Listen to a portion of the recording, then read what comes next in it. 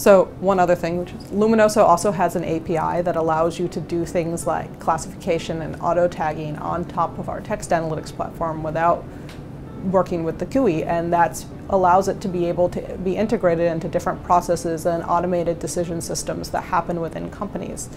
We can do things like understand if a review comes in, uh, what genre of movie the review is likely to talk about, all the way to being able to figure out if someone is a Republican or a Democrat on Twitter. I think what's next for us is obviously continuing to work on the dashboard. We're working on releasing something that's called the tagging dashboard that really enables users to tag and work with groups of documents as well as with individual reviews. Uh, being able to take the power of analyzing an individual contribution or many individual contributions and trying to understand how that works together in large groups to make better decisions and to better search documents to find conceptual answers you're looking for. So right now, uh, a lot of my research time and a lot of our research time is focused on ConceptNet, uh, which is the model of how people think about the world that Luminoso and hundreds of other people use to be able to bring this common sense knowledge into computers.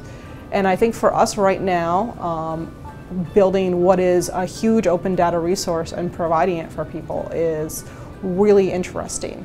Uh, right now, our biggest questions and our biggest thoughts are how can we take the work that we've done and move it to languages that are harder to work with than the languages we've looked at. So right now, we're trying to understand, can we move this to Arabic? Can we start working with Turkish? Can we look at Malay or Indonesian? And how would we start working in these areas where our traditional collection methods, like games with a purpose, are going to be a little bit more difficult?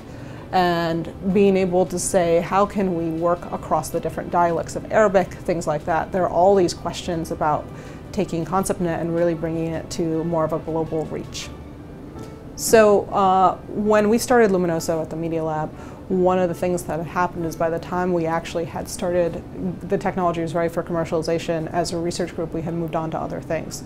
So it was very much things that were happening in parallel. Luminoso was working on text analytics, and in the lab, we were working on what we thought was going to be the next step for this, which was dialogue based analytics, understanding you and I as we talk to each other, and understanding how organizations work. Can we understand organizations from the digital breadcrumbs that they leave behind?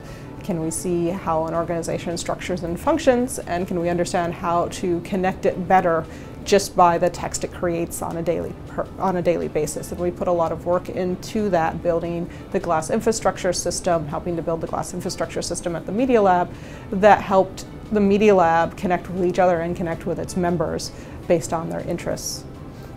I also had started doing a lot of work on computational creativity and story understanding. So can we build uh, systems that are able to understand and augment a storyteller as they're telling a story. So with uh, students with Dan Novy, we built a system called the Narratarium, uh, which allows you to tell a story to the computer and it will build interactive visualizations either based on colors of what you're talking about or based on preset assets uh, in an immersive fashion in the room around you as you're telling a bedtime story. And Narratarium is a Media Lab project. When you go by the Media Lab, feel free to ask to see it. Right now, Luminoso is focused on market research, marketing, and working with large brands to understand their consumers. But in the future, in next year, we'll actually be able to uh, go on premise and build installs uh, within data centers. This will allow us to work with markets that we hadn't worked with before, such as uh, financial services, pharmaceuticals, and um, law enforcement.